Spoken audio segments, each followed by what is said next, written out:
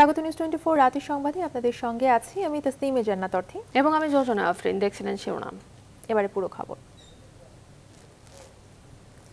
ভারতের Serum Institute থেকে Oxford অ্যাস্ট্রোজেনিকার টিকা কেনার জন্য ছয়শো কোটি টাকার বেশি অগ্রিম হিসেবে ব্যাংকে জমা দেওয়া হচ্ছে। স্বাস্থ্য অধিদপ্তর থেকে জানানো হয়েছে অর্থ মন্ত্রণালয় থেকে এরই মধ্যে তারা টাকা পেয়েছে। দু একদিনের মধ্যেই তা ব্যাংকে জমা দেওয়া হবে। তৃতীয় ব্যাংক হিসেবে বাংলাদেশের জনতা এবং স্ট্যান্ডার্ড চার্টার্ড ব্যাংকে ওই টাকা অগ্রিম হিসেবে গচ্ছিত রাখা হবে। বিনিময়ে সেরাম ইনস্টিটিউট ব্যাংক গ্যারান্টি দিবে। প্রথম চালানের টিকা বাংলাদেশে আসার পর সেরাম ইনস্টিটিউট ব্যাংক থেকে টাকা তুলে নিতে পারবে। টিকা সরবরাহ শুরু হলে বাকি টাকা দেয়া হবে।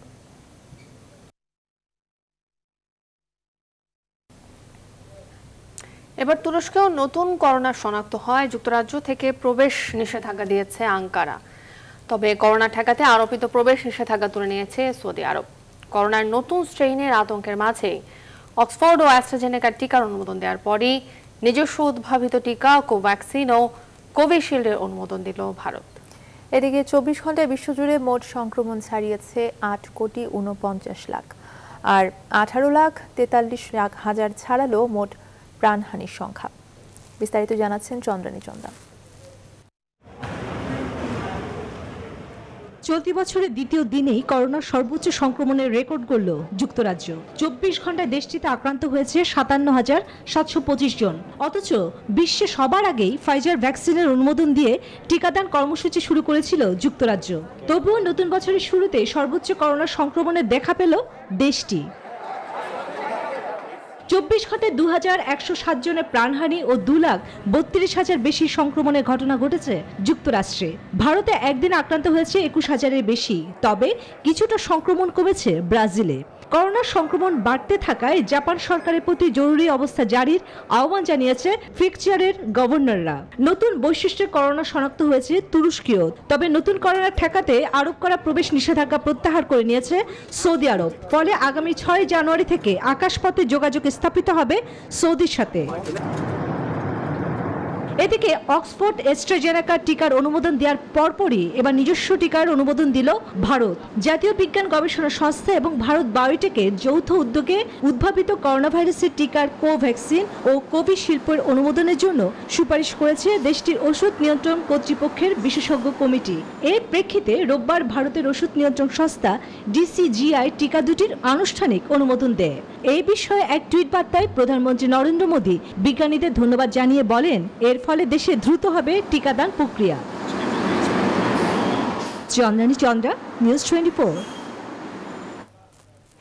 দেশে করোনায় আক্রান্ত হয়ে একদিনে আরও সাতাশ জনের মৃত্যু হয়েছে। নতুন রোগী শনাক্ত হয়েছেন আরও আটশো পঁয়ত্রিশ জন। রোববার বিকেলে সংবাদ মাধ্যমে বিজ্ঞপ্তি পাঠিয়ে স্বাস্থ্য অধিদপ্তরের পক্ষ থেকে দেশে করোনা ভাইরাস পরিস্থিতির এই সবশেষ তথ্য জানানো হয়। সকাল আটটা পর্যন্ত শনাক্ত আটশো পঁয়ত্রিশ জনকে নিয়ে দেশে করোনা ভাইরাসে মোট আক্রান্তের সংখ্যা বেড়ে পাঁচ লাখ ষোলো হাজার উনিশ জন হয়েছে আর মোট মৃতের সংখ্যা সাত হাজার ছশো ছাব্বিশ দাঁড়িয়ে আছে।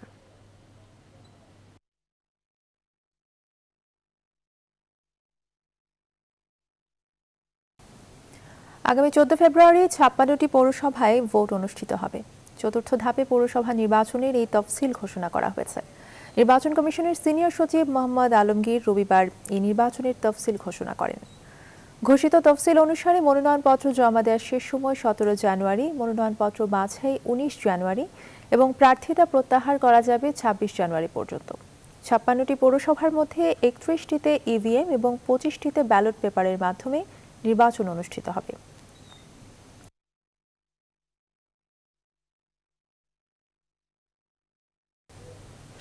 আগুনে পড়ল নারায়ণগঞ্জের মুগরাপাড়া এলাকায় রেফ্রিজারেটর কারখানা। রোববার সকালে আগুন লাগার পর ফায়ার সার্ভিসের তিন ঘণ্টার চেষ্টায় আগুন নিয়ন্ত্রণে আসে। তবে এতে হতাহতের কোনো ঘটনা ঘটেনি। ফায়ার সার্ভিস বলছে, এই কারখানায় অগ্নি নির্বাপনের জন্য ছিল না, পর্যাপ্ত ব্যবস্থা। রিশাদ হাসান জানাচ্ছেন বিস্তারিত। রোববার বেলা এগারোটার কিছু আগে নারায়ণগঞ্জের মুগরাপাড়া কনকা রেফ্রিজারেটর ফ্যাক্টরিতে আগুন লাগে। তাৎক্ষণিকভাবে অগ্নি নির্বাপনে যোগ দেয় ফায়ার সার্ভিসের সাতটি ইউনিট।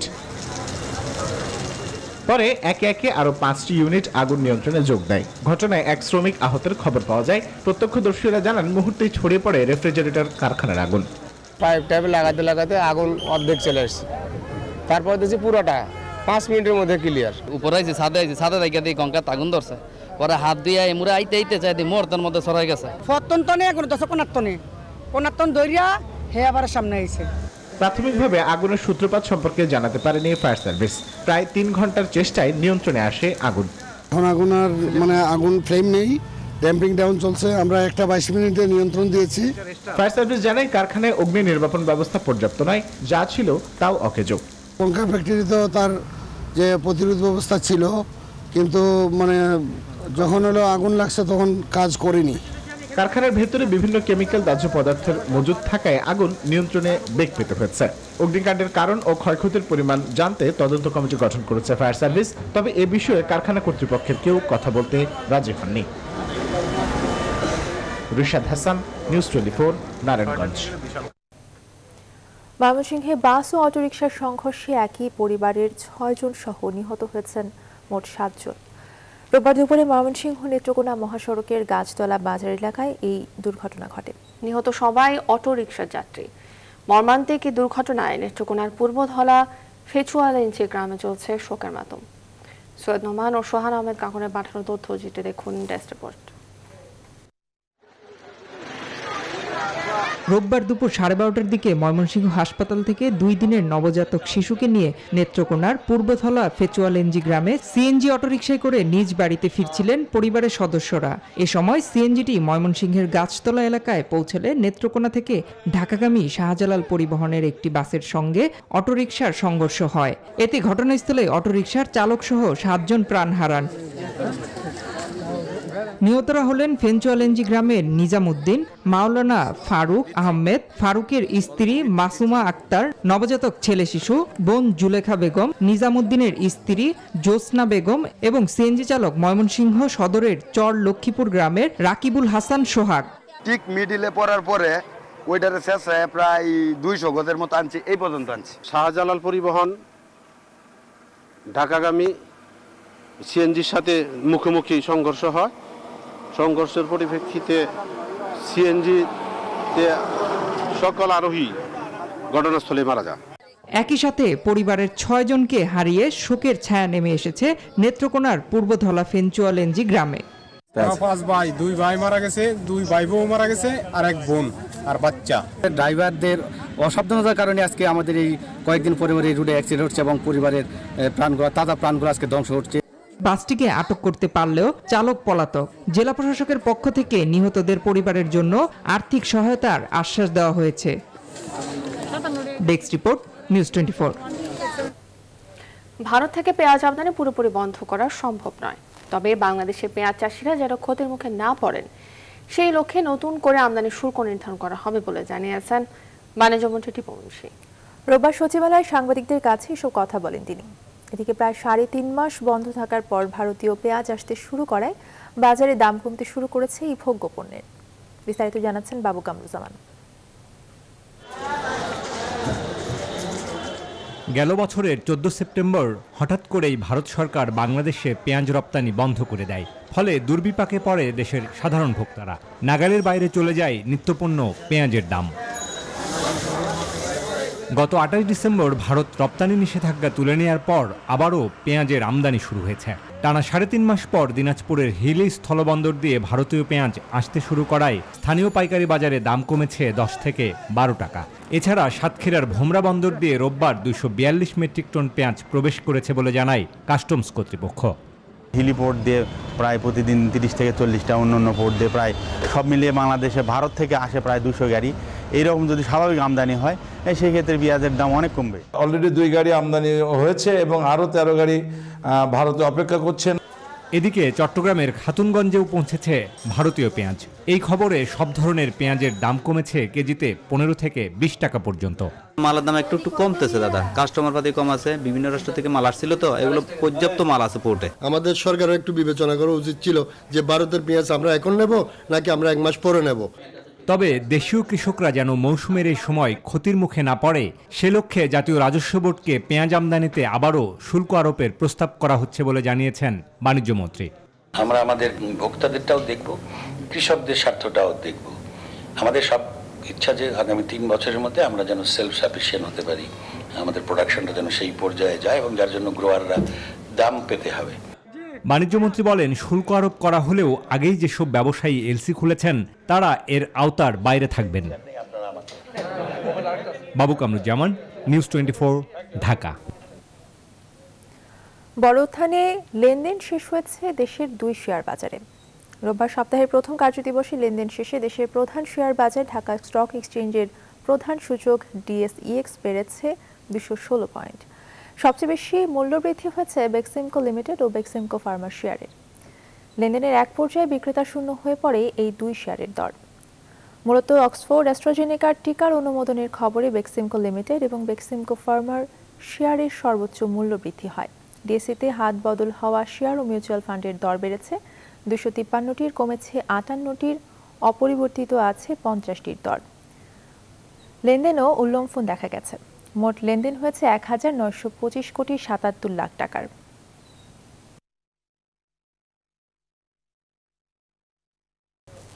পুলিশকে মানুষের আস্থা ও বিশ্বাস অর্জনের তাগিদ দিয়েছেন প্রধানমন্ত্রী শেখ হাসিনা।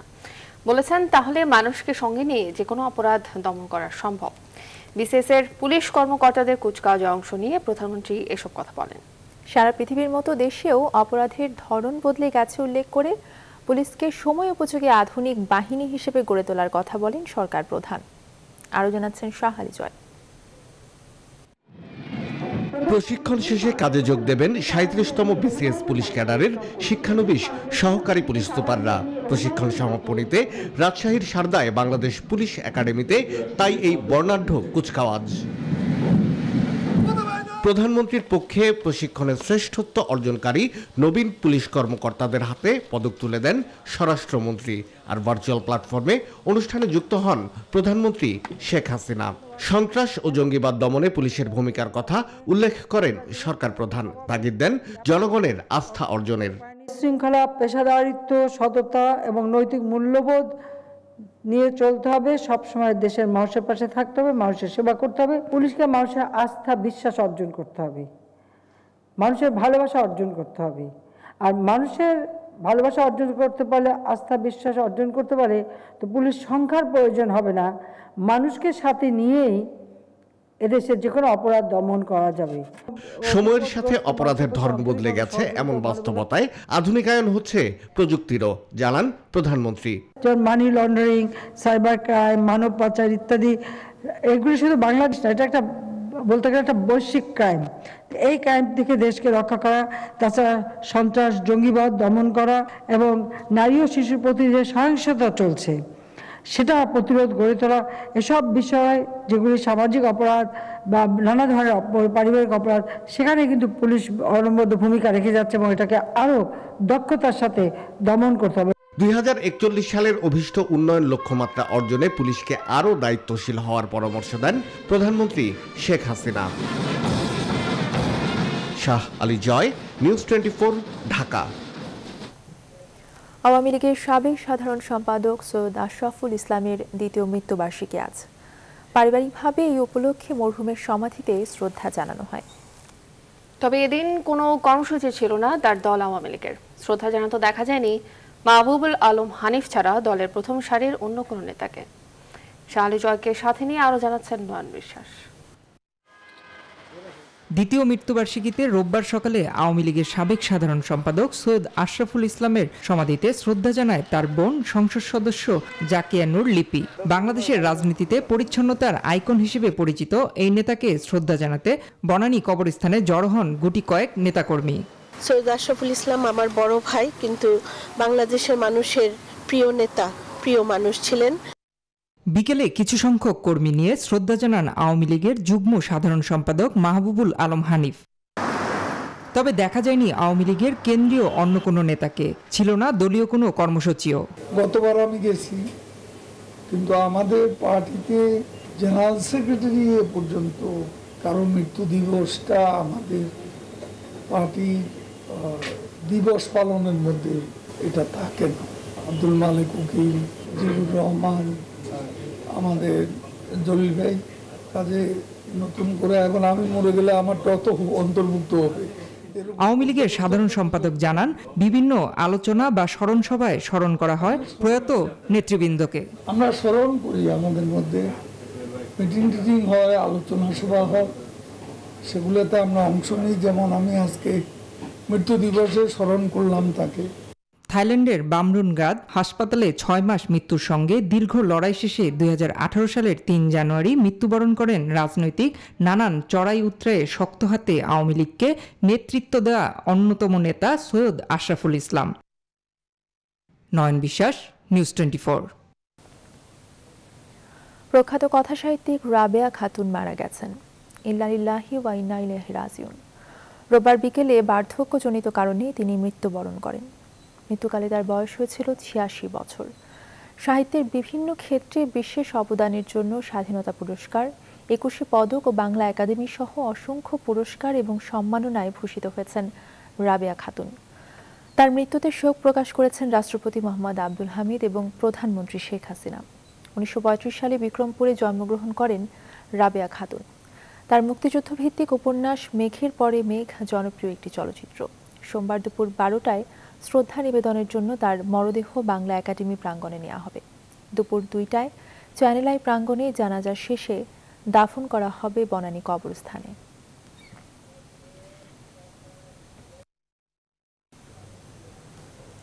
রোহিঙ্গা প্রত্যাবাসন বাংলাদেশের জন্য বড় চ্যালেঞ্জ। এবছর প্রত্যাবাসন শুরু করতে চায় সরকার। রোববার পররাষ্ট্র মন্ত্রণালয়ে এক সংবাদ সম্মেলনে পররাষ্ট্রমন্ত্রী ডক্টর এ কে আব্দুল মোমেন কথা বলেন। তিনি জানান পহেলা জানুয়ারি মিয়ানমার স্টেট কাউন্সিলের দপ্তরের মন্ত্রীকে চিঠি লিখে প্রত্যাবাসন প্রক্রিয়া শুরুর অনুরোধ করেছে পররাষ্ট্র মন্ত্রণালয়। মিয়ানমারকে তাদের প্রতিশ্রুতির কথা মনে করিয়ে দেওয়া হয়েছে। এই লক্ষ্যে দ্বিপাক্ষীয়, ত্রিপাক্ষীয় এবং বহুপক্ষীয় আলোচনা অব্যাহত রয়েছে বলেও জানান পররাষ্ট্রমন্ত্রী জেদ্দায় হয়েছে, অন্যান্য বিভিন্ন জাতি হয়েছে so there is a some positive movement even within Myanmar so আমরা আশাবাদী এর জন্য। আর তাছাড়া আমরা দ্বিপাক্ষিক আলোচনা চালিয়ে যাচ্ছি। ত্রিপাক্ষিক আলোচনা চালিয়ে যাচ্ছি। মাল্টিল্যাটারাল তো দেখতেছিনি চালিয়ে যাচ্ছি। ইভেন আমরা লিগাল ফ্রেমওয়ার্কেও কাজ করতেছি। সো যত ধরনের অপশন আমাদের আছে, সবগুলোই আমরা গ্রহণ করছি। গত বারো বছর ধরে বিএনপি আন্দোলনের মাধ্যমে সরকার উৎখাতে কথা বলে আসলেও জনগণের কাছে দলটি হাস্যকর। রোববার জাতীয় প্রেস ক্লাবে আওয়ামী লীগের সাবেক সাধারণ সম্পাদক সৈয়দ আশরাফুল ইসলামের দ্বিতীয় মৃত্যুবার্ষিকী উপলক্ষে স্মরণ সভায় তথ্যমন্ত্রী হাসান মাহমুদ এই মন্তব্য করেন। তথ্যমন্ত্রী বলেন, দুঃখজনক হলেও সত্যি, নতুন বছরে বিএনপির নেতিবাচক রাজনীতির পরিবর্তন হয়নি। বছরের প্রথম কয়েকটা দিনে বিএনপি মহাসচিবের মধ্যে ভাষার কোনো পরিবর্তন আসেনি। এবছর বিএনপি সরকার উৎখাতের কথা বলছে। অথচ বারো বছর ধরে তারা সরকারকে উৎখাত করতে গিয়ে নিজেরাই জনগণ থেকে উৎখাত হয়েছে বলে মন্তব্য করেন হাসান মাহমুদ। বিএনপিকে ইতিবাচক রাজনীতির ধারায় ফিরে আসার আহ্বান জানান তিনি। স্মরণসভায় আরও উপস্থিত ছিলেন পানি সম্পদ উপমন্ত্রী A K M Enamul Haque Shamim, Awami League নেতা অ্যাডভোকেট বলরাম পোদ্দার সহ সংগঠনের অন্যান্য নেতাকর্মীরা। রাজনৈতিক অবক্ষয়ের বড় সৃষ্টি হচ্ছে বিএনপি কারণ বিএনপির যারা নেতা, তারা কিন্তু দলছুট নেতা। জিয়া রহমান প্রথমে ক্ষমতা দখল করেন, ক্ষমতা দখল করে ক্ষমতার উচ্ছিষ্ট বিলিয়ে তারপর দল গঠন করেন। এই বছরে নাকি সরকারকে উৎখাত করবেন। গত বারো বছর ধরে তারা সরকারকে উৎখাত করতে গিয়ে তারা নিজেরাই জনগণের কাছ থেকে উৎখাত হয়ে গেছেন অলরেডি প্রায় সাড়ে তিন হাজার কোটি টাকা আত্মসাৎ করে বিদেশে পালিয়ে থাকা পিকে হালদারের কানাডার হোল্ডিংয়ের ঠিকানা বাংলাদেশ সরকারকে জানিয়েছে কানাডা সরকার। হাইকোর্টের বিচারপতি মোহাম্মদ নজরুল ইসলাম তালুকদার ও বিচারপতি আহমেদ সোহেলের সমন্বয়ে গঠিত হাইকোর্টের ভার্চুয়াল বেঞ্চে দুদক এমন তথ্য জানায়। দুদকের আইনজীবী জানান, এখন যে কোনো দিন পিকে হালদারের বিরুদ্ধে রেড অ্যালার্ট জারি করতে পারে ইন্টারপোল। এদিকে পিপলস লেজিংয়ের কাছে পাওনাদার চারজনকে মামলার পক্ষভুক্ত করার নির্দেশ দিয়েছেন হাইকোর্ট।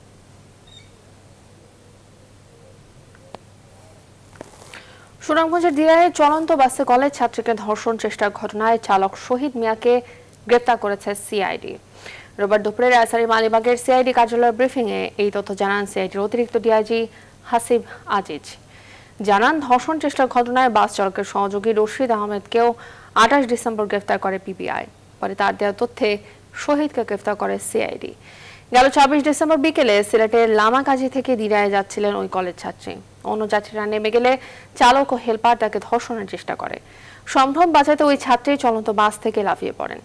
স্থানীয়রা তাকে সড়কের পাশ থেকে আহত অবস্থায় উদ্ধার করে দিরাই হাসপাতালে নেন।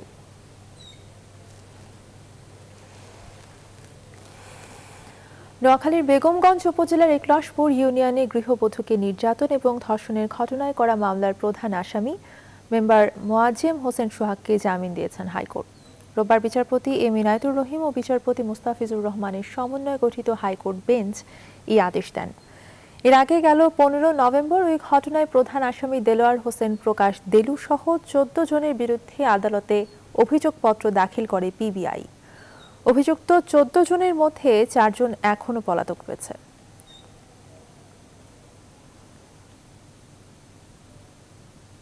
সিলেট এমসি কলেজ ছাত্রাবাসে দল বেঁধে গৃহবধূকে ধর্ষণ মামলার অভিযোগপত্র আমলে নিয়ে শুনানি শুরু করেছেন আদালত।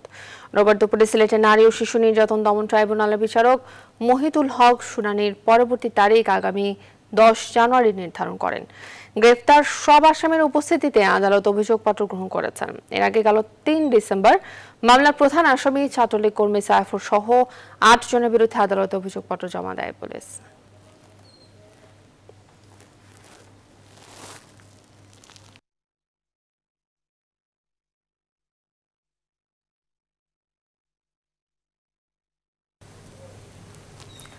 যুক্তরাষ্ট্রের আগুন নিয়ে খেলার পরিণতি ভয়ঙ্কর হবে বলে হুঁশিয়ারি দিয়েছেন ইরানের পররাষ্ট্রমন্ত্রী জাভেদ জারিফ। ইসরায়েলের উস্কানিতে বিদায় বেলায় ট্রাম্প প্রশাসন তেহরানের ওপর হামলা চালাতে পারে আশঙ্কা করে এই সতর্ক বার্তা দেন তিনি। এদিকে ইরান বিরোধী কোনো মার্কিন নীতি বাগদাদ সমর্থন করবে না বলে জানিয়েছে ইরাক।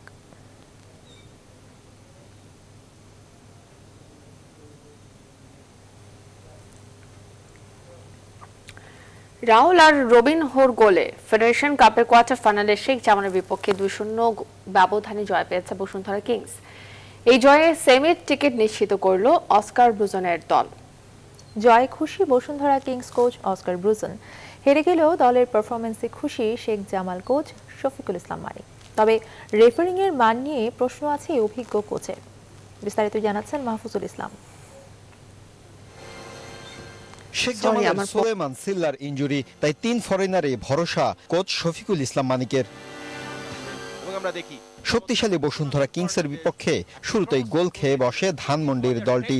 দশম মিনিটে রাউল বেরেসার গোলের লিড নেয় বসুন্ধরা কিংস। চৌত্রিশ মিনিটে আবারও বড় সুযোগ কিংসের কিন্তু জামালের ডিফেন্ডার মোজাম্মেল হোসেনের দক্ষতায় সে যাত্রায় রক্ষা। অন্যদিকে কিংসের রক্ষণ ভাগে বারবার কাপন ধরানো জামালের ফরওয়ার্ড লাইন দেখিয়েছে মিসের মহড়া। দ্বিতীয়ার্ধে আক্রমণের ধার বাড়ায় উভয় দল উদযাপন করে। অস্কারের শিষ্যরা ম্যাচের উননব্বই মিনিটে বক্সের বাইরে ফ্রিকিক পায় কিংস। সেই ফ্রিকিক থেকে গোল করেন রবিনহো। দুই শূন্য ব্যবধানে এগিয়ে যায় কিংস। শেষে এই দুই শূন্য ব্যবধানের জয় নিয়ে সেমিফাইনাল নিশ্চিত করে ডিফেন্ডিং চ্যাম্পিয়নরা। দুই দুটি গোল হয়তো করতে পারতো, বাট সে মিস করলে ম্যাচ জেতা যায় না। বাট ভালো খেলা যায়, ম্যাচ জেতা সম্ভব হয় না। আর একটু ভালো রেফারি অনেক হ্যাঁ, অনেক ভালো ডিসিশন দিতে পারতো। সেই ডিসিশনগুলো থেকে দুদলই বঞ্চিত হয়েছে মনে করি আমি। তবে রেফারিং আমাদের তো আরও এলিট রেফারিং আছে তাদেরকে দিলে হয়তো মোর এন্টারটেইনিং হতো আরও ম্যাচটি আমরা ভালো খেলে জয় নিয়ে মাঠ ছেড়েছি। পরিকল্পনা মতো খেলেছে ছেলেরা তবে গোলের ব্যবধান আরও বেশি হতে পারত। আগে বলেছি শেখ জামাল বেশ ভালো দল। তাদের বিপক্ষে জয় পাওয়াটা সহজ ছিল না। এখন আমাদের লক্ষ্য সেমিফাইনালের বাধা পার হওয়া। শেষ কোয়ার্টার ফাইনালে আবহানী উত্তর বাড়িধারার মধ্যে জয়ী দল হবে সেমিতে কিংসের প্রতিপক্ষ। Mahfuzul Islam news twenty Dhaka. দল তুলনামূলক তরুণ হলেও ওয়েস্ট ইন্ডিজকে হালকাভাবে নেওয়ার সুযোগ নেই। দীর্ঘ বিরতির পর আন্তর্জাতিক ক্রিকেটে ভালোভাবেই কামব্যাক করবে বাংলাদেশ। দেশে ফিরে এই আশার কথাই শোনালেন দেশসেরা ক্রিকেটার সাকিব আল হাসান। রোববার সকালে ঢাকার বিমানবন্দরে পা রেখে গণমাধ্যমের মুখোমুখি হয়ে সাকিব দিয়েছেন আরও এক সুখবর। দেখুন পার্থ বণিকের রিপোর্টে। ছুটি কাটিয়ে দেশে ফিরেছেন বাংলার ক্রিকেটের নবাব সাকিব আল হাসান। দীর্ঘ ষোলো মাস পর আন্তর্জাতিক ক্রিকেটে তাকে মাঠে দেখার অপেক্ষায় টাইগার ভক্তরা। আর সেই প্রহর গণনার শুরুটা হলো রবিবার সকাল সকাল। বিমানবন্দরে পা রেখেই সাকিব জানিয়ে দিলেন, যেখান থেকে শেষ করেছিলেন, শুরুটা করতে চান সেখান থেকেই। প্রত্যাশা আছে সেরাটা দেবার। কিন্তু সেটাকে চাপ হিসেবে নিতে নারাজ তিনি। না, চাপ না অবশ্যই একটা এক্সপেকটেশন থাকে, আমার নিজেরও আছে, সবারই আছে। তো সেই হিসাবে অবশ্যই ট্রাই করব যেন আগের জায়গাতেই থাকতে পারি। বাট সবই বোঝা যাবে যখন আসলে খেলাটা শুরু হবে। অবশ্যই ইজি হবে না আমার জন্য বাট আমি আমার জায়গা থেকে সর্বোচ্চ চেষ্টা তিন ওয়ানডে আর দুই টেস্ট খেলতে দশ তারিখ ঢাকায় আসছে ওয়েস্ট ইন্ডিজ। স্কোয়াডে নেই তারকা দুটি। সাকিবের দুর্দান্ত এক কামব্যাকের জন্য যা হতে পারে সুবর্ণ সুযোগ। কি ভাবছেন সাকিব? যে দুটো দল দিয়েছে আসলে ওয়েস্ট ইন্ডিজ টিম আমার কাছে মনে হয় যদি আমরা খুব বেশি ভালো না করি আমাদের জন্য একটু ডিসঅ্যাপয়েন্টিং হবে। তো সেই জায়গা থেকে আমি খুবই আশাবাদী যে আমাদের খুবই ভালো করা বছরের প্রথম দিনই সামাজিক যোগাযোগ মাধ্যমে সুসংবাদ নিয়ে হাজির হয়েছিলেন সাকিব আল হাসান। জানিয়েছিলেন আসতে চলেছে তার তৃতীয় সন্তান। সেই উচ্ছ্বাস এবার ধরা পড়ল ক্যামেরার লেন্সে। সাকিব চাইলেন সবার কাছে দোয়া। তো নতুন কিছু না থার্ড টাইম অবশ্যই আবার এক্সাইটেড আমি। আহ, দেখা যাক আমি চাই আল্লাহর রহমতে সবার দোয়াতে ইনশাল্লাহ সুস্থ সবলভাবে যেন আহ, নতুন মানে পৃথিবীতে আসতে পারে বাচ্চা এবং সুস্থ সবলভাবে যেন মা এবং বাচ্চা দুজনেই থাকতে পারে। ওয়েস্ট ইন্ডিজ সিরিজকে ঘিরে সোমবার হতে পারে দল ঘোষণা। স্বাভাবিকভাবেই সেই দলের মধ্যমণি থাকবেন সাকিব আল হাসান। অপেক্ষা এখন মাঠে সেই দুটি ছড়িয়ে দেবার। পার্থবণিক নিউজ টোয়েন্টি ফোর আর এ ছিল এখনকার আয়োজন। আরও জানতে ভিজিট করুন W W news twenty four BD dot TV